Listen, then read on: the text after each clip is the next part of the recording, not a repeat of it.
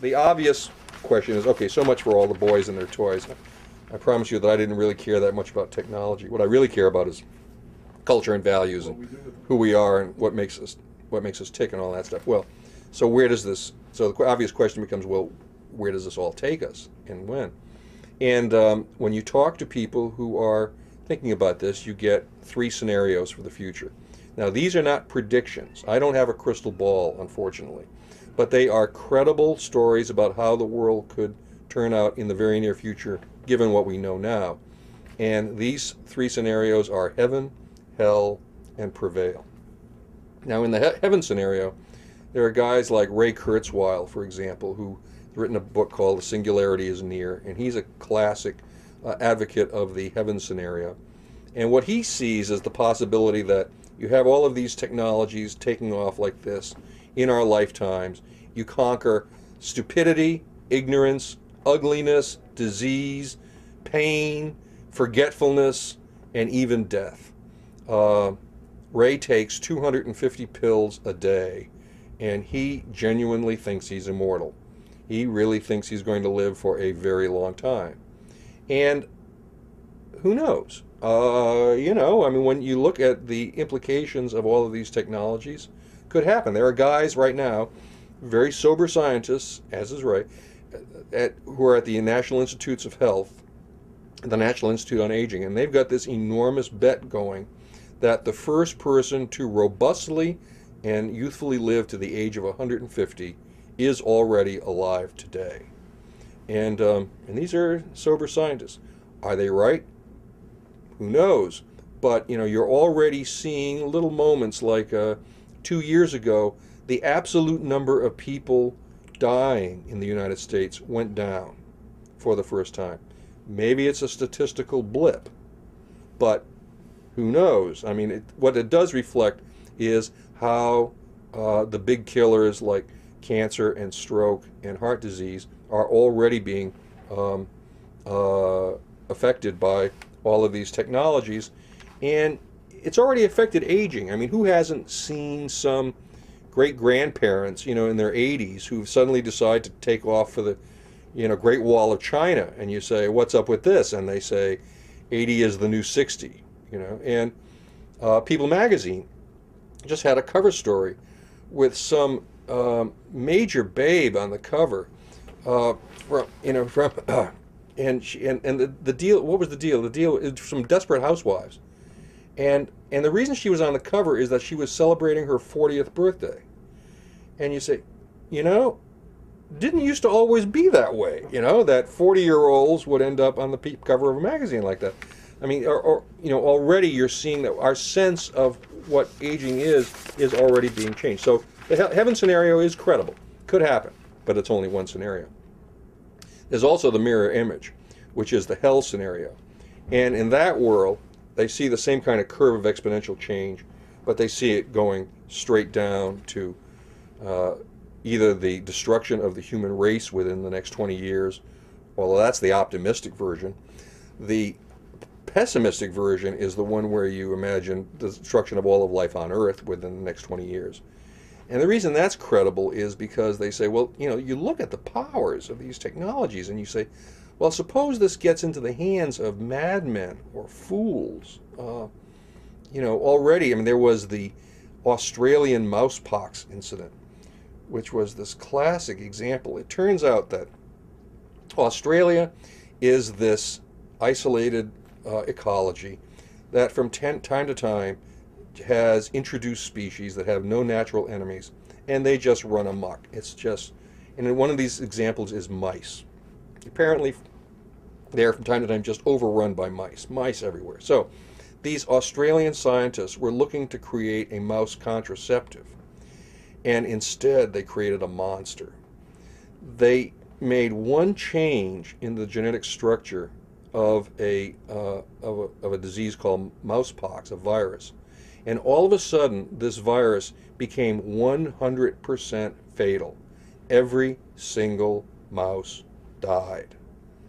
And then they took what they learned and they put it on the internet where anybody can see it. Well, the people who worry about the health scenario, this just drives them nuts because Mousepox virus doesn't hurt humans, but it's a very close relative of smallpox, which obviously does. And the information is now on the web. You know, for in principle, you know, to make a smallpox virus unbelievably lethal. Uh, well, that just drives people nuts. So, I mean, one of the lessons here is that if you're dealing with self replicating anything, whether it's viruses, uh, biological viruses, or information viruses, or robots, or anything else, you better know where the off switch is on this stuff because, uh, you know, you can just imagine a circumstance in which, uh, you know, this technology running amok in a self replicating way could, in fact, make a very credible hell scenario and could, you know, uh, cause incalculable, unprecedented damage. Uh, but again, now that's heaven and hell. But and those are the trouble with those two scenarios, in my view, is that while they're entirely credible, they make perfect sense. They are techno-deterministic, which means that these are uh, ideas that believe that human history is basically driven by its technology and that we're just along for the ride. Could be, maybe so, but there's at least one other possibility, and I call that prevail. Uh, and in the prevail scenario, the notion is that um, we're not, we humans are not just along for the ride, and we're not just uh, uh, the uh, the pawns of our technologies. That we can influence history and we can make choices in, a, in an important way. And so, if you were graphing this, you know, it wouldn't be some nice smooth curve either up or down. It would have reverses and loops and belches and snorts the way history usually looks like. And the the core of the prevail scenario is the idea that maybe there's not one curve of change, maybe there's two. The idea is suppose you don't just have all of this change in technology, suppose you've got a curve that's going right behind it and going up almost as fast, which is human response to this change in imaginative, unpredictable, uh, bottom up, leaderless way. And there's reasons for guarded optimism about this in history. For example, if you were looking out at the future of the human race from around 1200 AD in Europe, you'd be pretty pessimistic. I mean, you'd see marauding hordes and you'd be seeing uh, uh, plagues and, you know, things look pretty grim. Comes then around 1450, and all of a sudden, you've got the printing press, which is a brand new way of storing and sharing and collecting information. And the effect is amazing. First, you know, you get the Renaissance, and then you get the Enlightenment, which produces science itself and democracy, and the world we live in today, which is dramatically different, you know, from what you were worried about in the Middle Ages. And what's interesting about this is that it was all bottom up. I mean, it wasn't, this was beyond the imagination of any one king or any one country uh, or any one parliament. It was all people who were just doing the best they can. Uh, you know, the people of Venice got run off the land by the marauding hordes. They went out into the middle of the swamp and invented world trade. You know, I mean, it was all kind of ad hoc, bottom up, the, the classic human saga. You see the same thing happen in 9 11. Um, the fourth airplane, Flight 93, never makes it to its target. Why? Because the Air Force is so smart? No. Because the White House is so smart? Hell no. It's because a whole bunch of people on board that aircraft, you know, empowered by their airphone technologies, figured out, diagnosed, and cured their society's ills in a little under an hour flat. Was it an ideal solution? No, of course not. They all died but nonetheless, it was good enough. And that's at the heart of the question of whether or not you're seeing two curves rather than one. The, the test of the prevail scenario, it's basically a bet on humans being surprising. It's a bet on, it's a faith in humans coming together in unexpected ways, in unprecedentedly clever ways, in a bottom up way. Um, and the question is, you know, well, do you see any evidence of that? Around you, and you say, well, um, how about eBay? That's not just the world's biggest flea market. That's hundreds of millions of people worldwide producing incredibly complicated behavior um, in a bottom up way without leaders. Uh, what about YouTube? same thing, and it's changing elections. It's changing how we think about power. Um, you know, all of the all of these social networking things is allowing people to produce very complicated uh, results without relying on, you know, they're not waiting around for some Senate Commerce Committee or something. They're not waiting for their leaders a top-down way. They're coming up with solutions uh, in a, as best they can, as fast as they can, and that's crucial to the prevail scenario because if the change is coming at you ever faster, the solutions have got to come ever faster too, and that's the problem with um, with top-down hierarchies.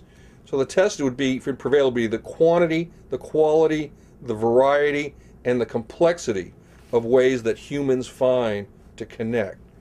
Uh, the test would be, you know, interesting group behavior, groups, not individuals. It'd be like watching a flock do amazing things.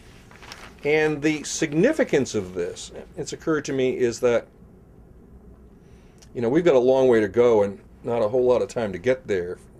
This, uh, I, I, submit, you know, if you look at these at these at these trends. So uh, it's occurred to me to wonder you know, we can't find any other evidence of intelligent life in the universe. And I wondered about why that is. I mean, you know, where is everybody?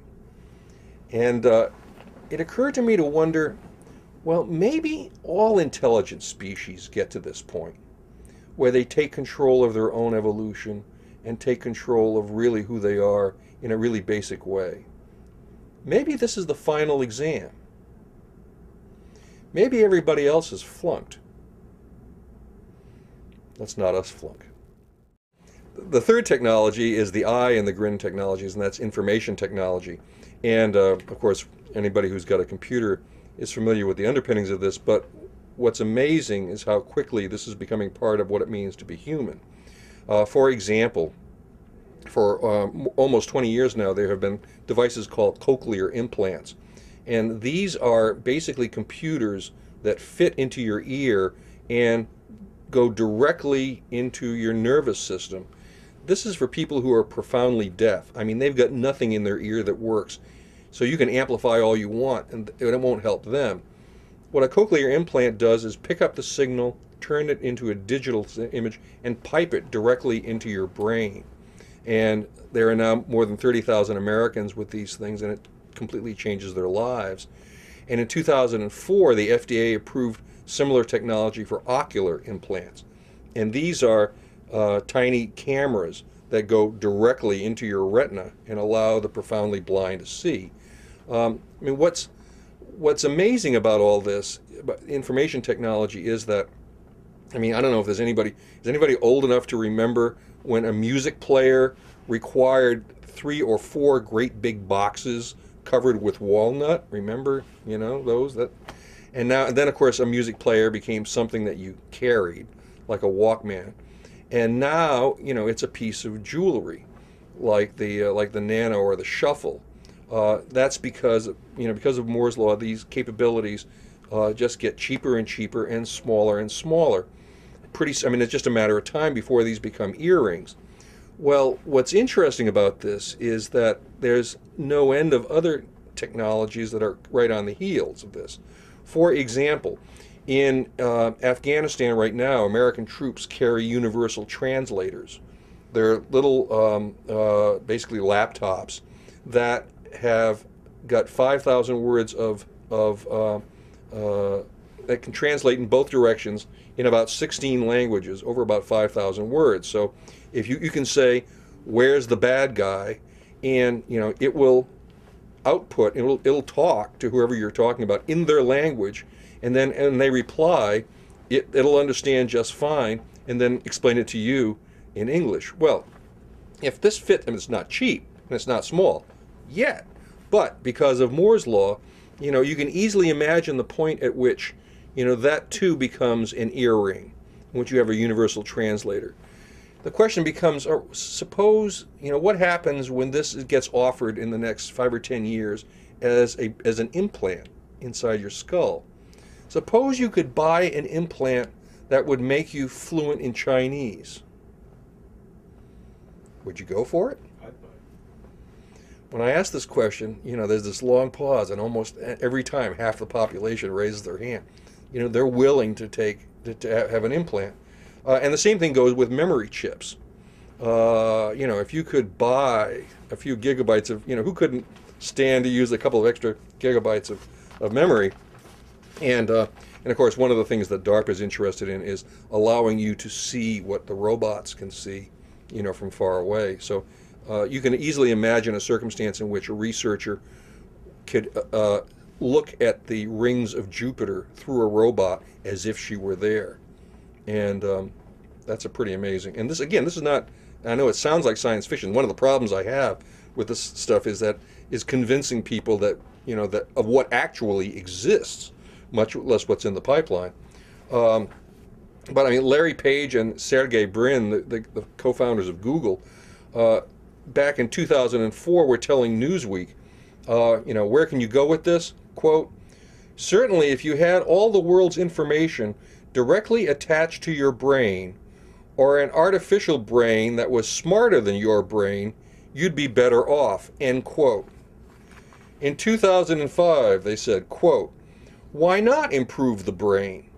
Perhaps in the future, we can attach a little version of Google that you just plug into your brain, end quote. Now, you know, back then, people thought they must be kidding. Oh no, they're not.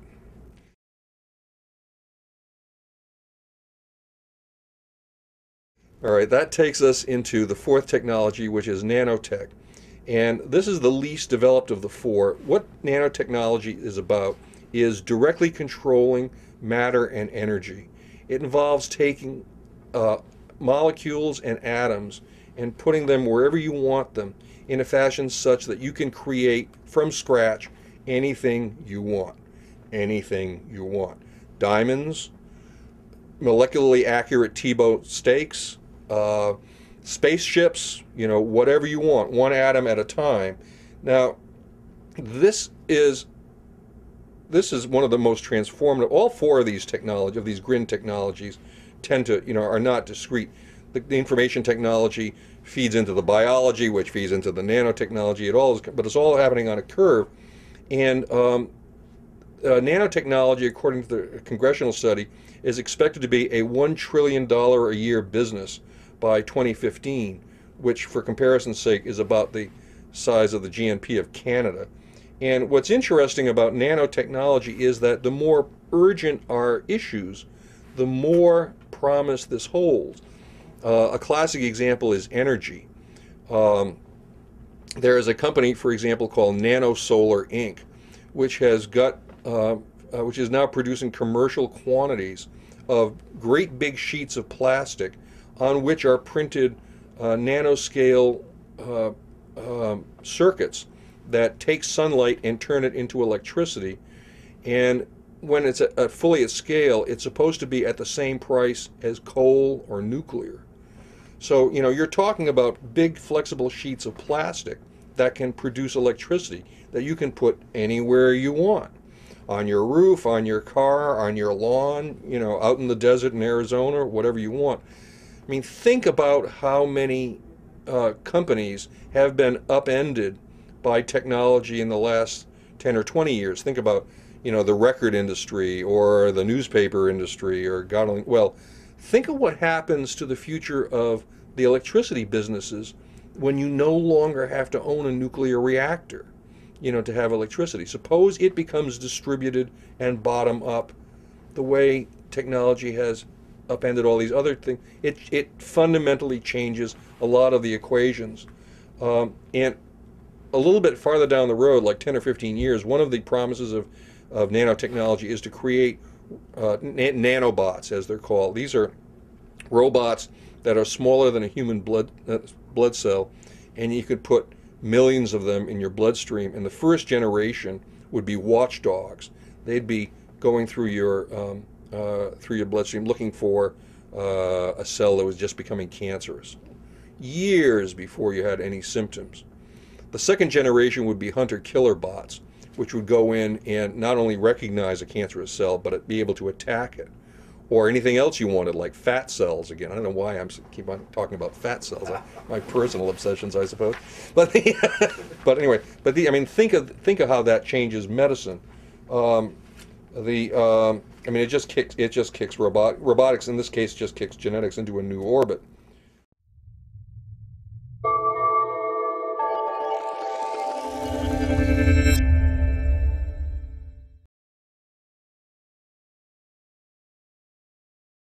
So we human look all different.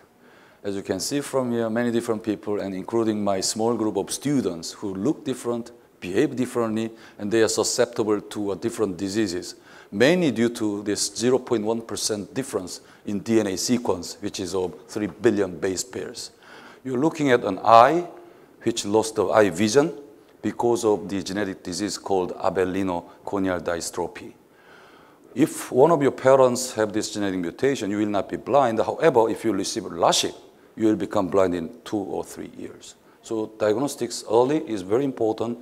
It can be done very easily by swapping some inner cells from your uh, mouse, and then uh, you uh, do the PCR amplification of the DNA region, and then you hybridize it pre-patenting. Using this technology, we tested more than 440,000 patients who tried to receive LASIK, saved 413 people from becoming blind. Also, you can use it for testing other genetic diseases, such as Wilson's disease, which is caused by accumulation of heavy metal ions, and you lose functions of your brain and liver. So that needs to be identified early in the stage so that the child can be treated with proper medicine. You can apply this diagnostic technology for the identification of exact pathogenic microorganism so that you can administer the right antibiotics without causing antibiotic resistance problems, which is becoming more and more significant and also dangerous. Now, this can be done in more nanotech-based way. For example, you can make a, nano-patterned chip, which uses technology called LSPR, and then you can use aptamer immobilized on the chip, which will specifically capture only the specifically designed pathogenic microorganisms. Now you get the very simple way of testing it. We eat vegetables, fruits every day, and you probably did it today too. Sometimes these are contaminated with toxic chemicals, which is not good. Can we test it? Well, yes, you can do it.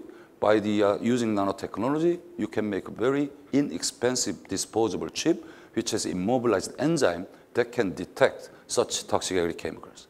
Not only diagnostics is the application of marrying nanotech and biotech. You can produce something.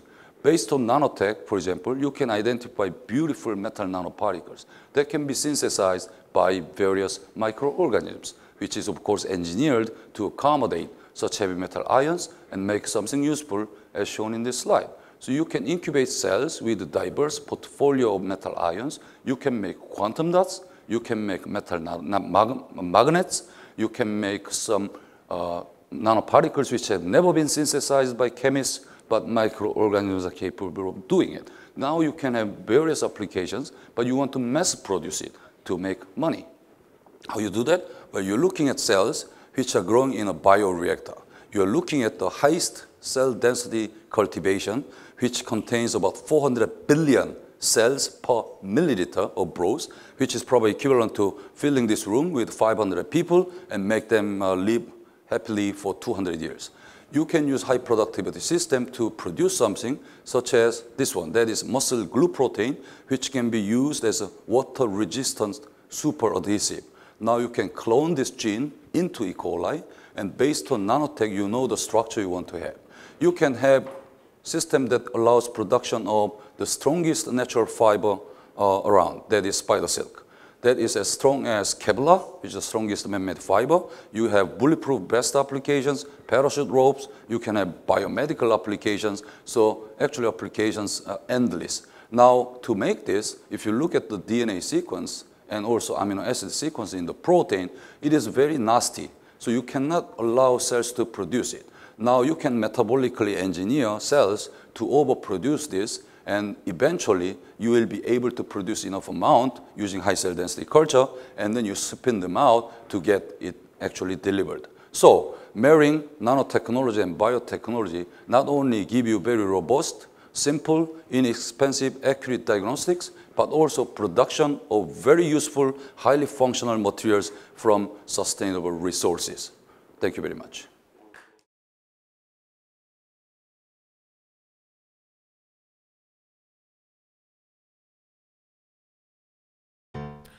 Carbon nanotubes are a fantastic material. Light, strong, small, highly conductive and versatile, they're finding uses in everything from lightweight composites to high-performance batteries and touchscreens to drug delivery systems. But how safe are they?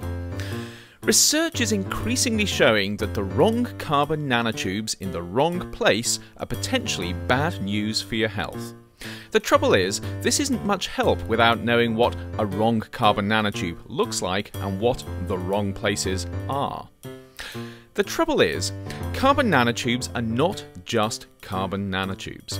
They might be short, long, thin, fat, straight, curvy, tangled, spiderweb like, bunched up in a tight ball, single walled, multi walled, big clumps, small clumps, or almost any combination of the above and the risks they present depend critically on what type of carbon nanotube you're looking at. A very long, thin, straight, multi-walled carbon nanotube, for instance, is a completely different beast to a spiderweb-like cluster of single-walled carbon nanotubes. On top of this, chemistry matters. It's easy to think carbon nanotubes are just carbon, so what? But in addition to the supreme importance of how those carbon atoms are arranged in the material, carbon nanotubes often come with additional chemical passengers. These might be metal nanoparticles used in their production, or chemicals added to their surface to make them easier to work with, or even drug molecules inserted into their core to create more effective therapeutics.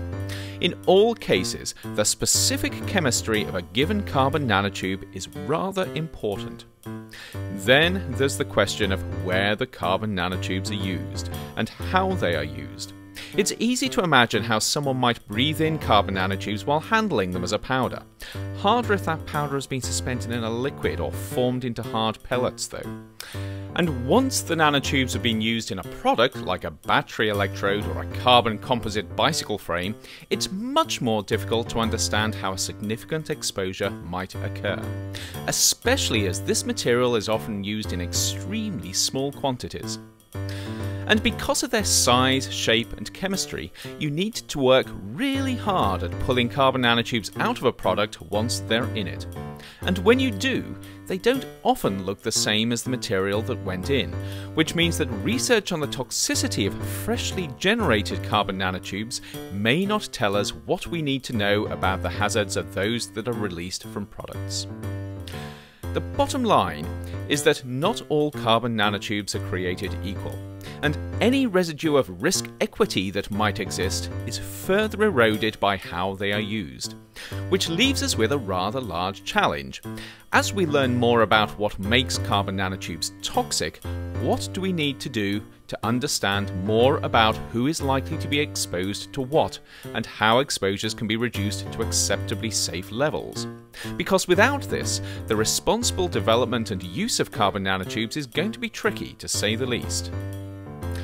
For more information on carbon nanotubes, check out the links below and stay safe.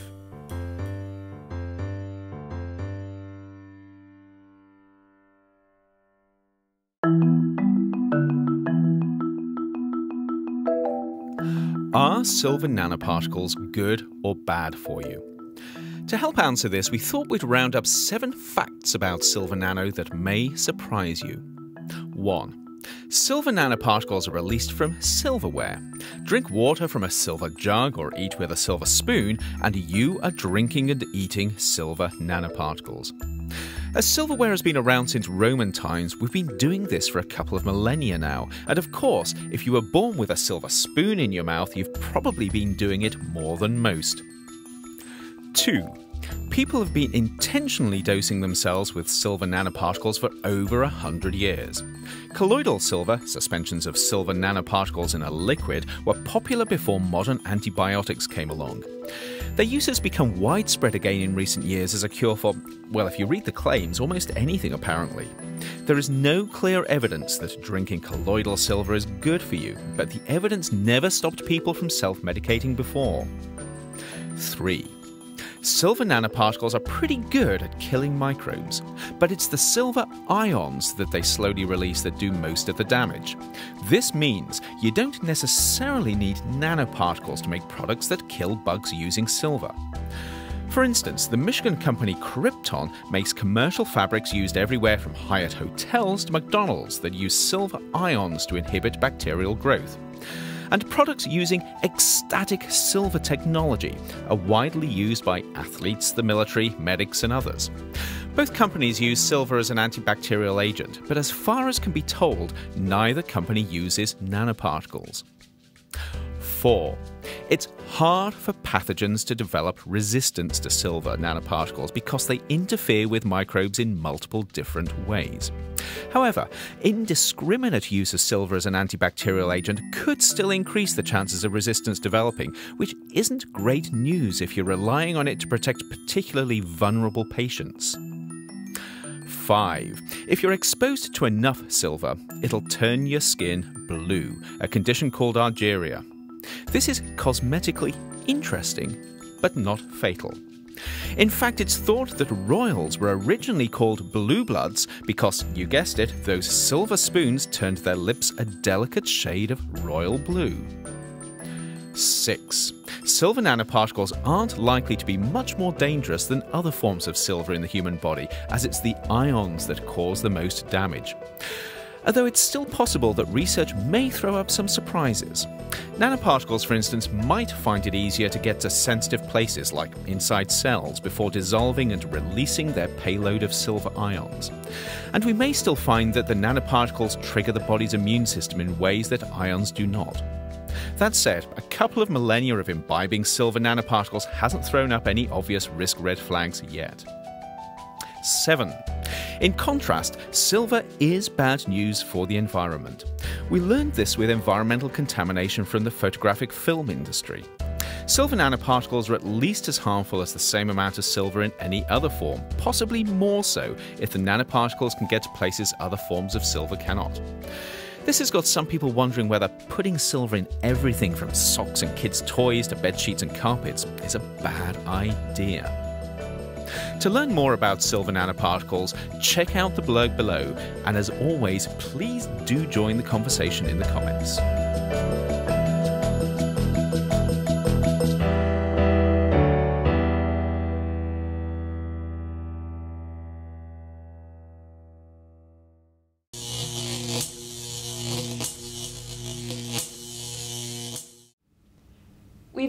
Talked about the basic rules of magnetism and some of the ways we use it in science and technology.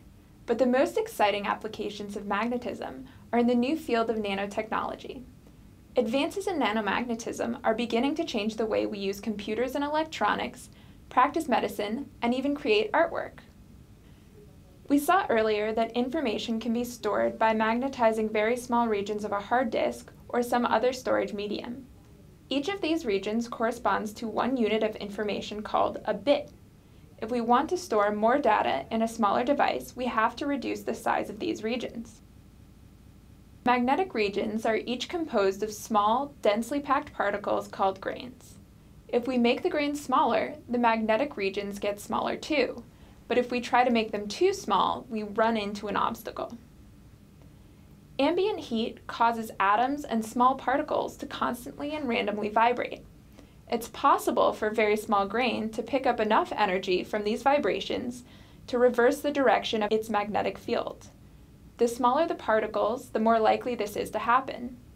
This is called the superparamagnetic effect, and it's a big problem for really tiny grains.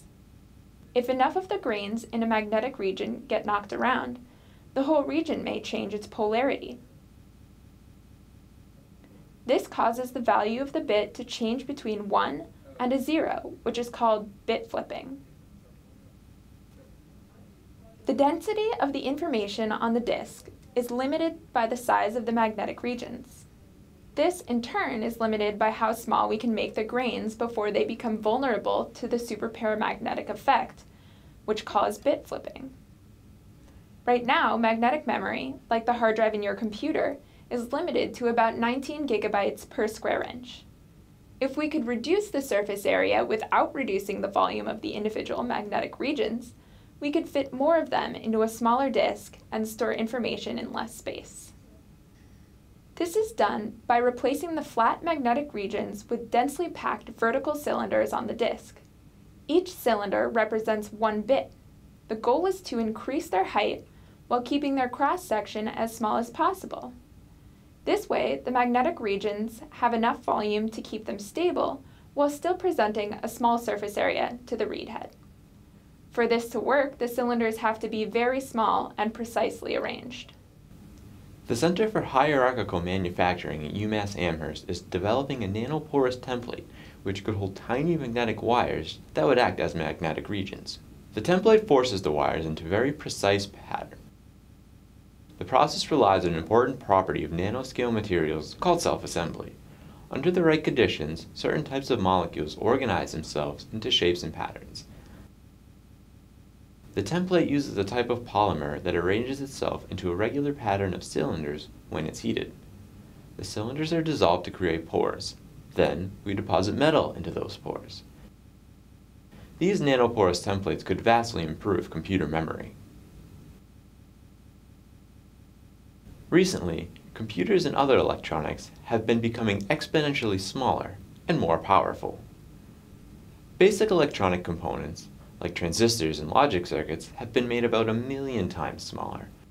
However, transformers and power supplies remain bulky and inefficient. So what is it about transformers and power supplies that keep them from getting smaller? Unlike transistors and logic circuits, transformers and power supplies use permanent magnets. We've already seen that neodymium and other new magnetic materials have let us shrink large headphone speakers which also rely on permanent magnets, into tiny earbuds. Neodymium magnets have made transformers and power supplies and other magnetic devices somewhat smaller, but they still lag far behind purely electronic devices like transistors. If we want to make them smaller, we'll need even stronger magnetic materials. In a magnetic material, the atoms clump together into magnetic domains. Each domain has its own field. If the material is not magnetized, the magnetic fields are arranged randomly and cancel each other out. When the material becomes magnetized, the domains line up, but not perfectly. There is still some cancellation. To make the magnet more powerful, we have to improve the alignment of its domains. It is possible to arrange magnetic materials so that their atoms work together. This is caused by the principle of exchange coupling, which requires that we keep the particles in a very precise position and alignment. This is difficult, but new nanomaterials are being developed to hold them in place. With smaller, more powerful magnets, we can make smaller, more powerful transformers. These magnets could also be manufactured as pastes and films that could be built directly into microchips instead of being soldered onto circuit boards. Medical applications of magnetism and nanotechnology may be the most exciting and inspiring of all. Right now, many disease detection and treatment methods are invasive and damaging. Nanomagnetism offers us harmless, non-invasive, and less traumatic alternatives. Magnetic resonance imaging, or MRI, is very useful for detecting cancer, but it has trouble finding the smallest and most easily treatable tumors. Scientists are trying to increase the sensitivity of MRIs by attaching slightly magnetic nanoparticles to the cancer cells. These nanoparticles are called contrast agents because they make even tiny tumors show up clearly in the MRI. One way of creating these contrast agents is to take a harmless virus whose outer shell bonds easily with metal ions. The virus is coated with magnetic particles and then with other particles that bond with cancer cells, so that it will stick to any tumors that it comes across.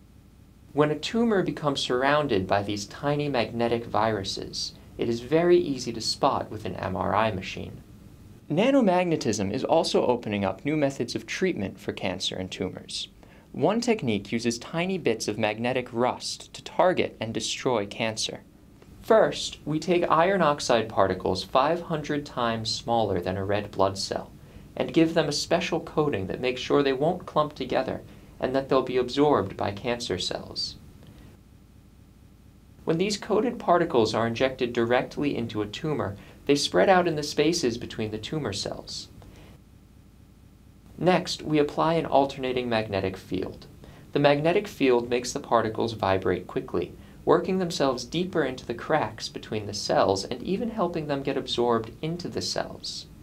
But the vibrations also cause them to heat up. As the particles get warmer and warmer, the heat destroys the cancer. The waste is cleaned up by the body's natural systems. Nanomagnetism could even make life easier for diabetics and other people who have to inject themselves with medicine.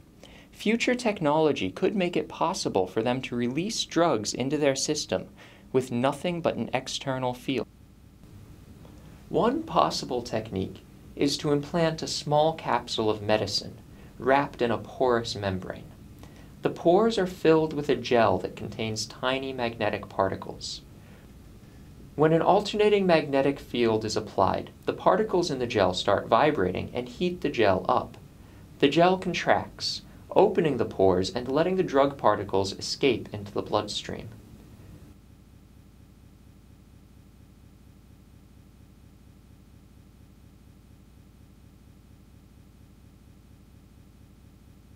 When the magnetic field is turned off, the gel cools down and expands to fill the pores so that drug delivery is stopped. Nanomagnetic effects can also be used to create artwork. Ferrofluids are magnetic liquids that are being used by artists like Sachiko Kodama to create cool effects because they react to magnetic fields. Ferrofluids are attracted to magnetic objects, and in a strong magnetic field, they form spikes and ridges that follow field lines. The liquid will follow a moving magnet or respond to changing current in an electromagnet. A ferrofluid is made by suspending tiny particles of iron, hematite, or some other magnetic metal in oil. The particles are coated in a surfactant so they won't clump together, otherwise, a strong magnet could pull them right out of the oil. The spikes come from a complex interaction of forces. The magnetic force wants the fluid to follow the field lines, and the surface tension wants to make its surface area as small as possible. A ferrofluid's characteristic spikes are the compromise.